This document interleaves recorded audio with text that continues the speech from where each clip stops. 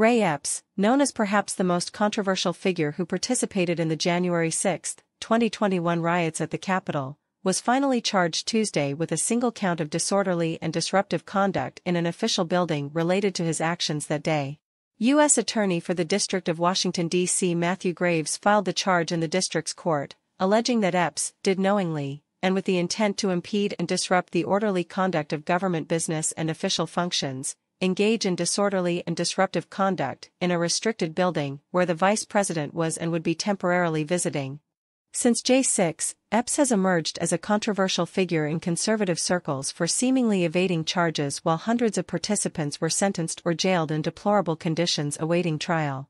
Commentators circulated rumors that Epps was somehow tied to the government and instigated the riots and cited video evidence of him encouraging participants to enter the Capitol at a time when it was closed to the public and Congress was certifying the results of the 2020 election.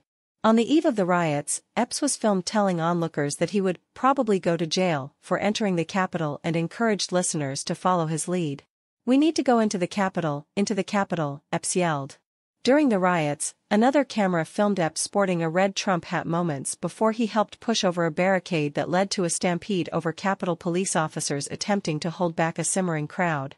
In July, FBI Director Christopher Wray testified before the House Judiciary Committee that Epps was not a government agent, calling the allegations ludicrous and a disservice to FBI agents. It was the first time in more than two years that the head of the Bureau recognized Epps under oath.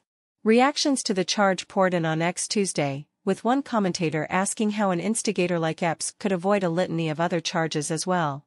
This lame single charge tells us everything we need to know about Ray Epps, wrote ex-user Julie Kelly. No obstruction felony?